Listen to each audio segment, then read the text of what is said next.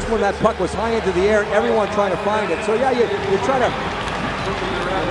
Shane O'Brien is not clapping for himself in the penalty box. He is clapping for our hero of the game here at Staples Center. And of course, the Kings, like many teams around the NHL, honor the member of the military. And Shane is doing that himself. So, a little respect from everyone. And that's exactly the way it should be.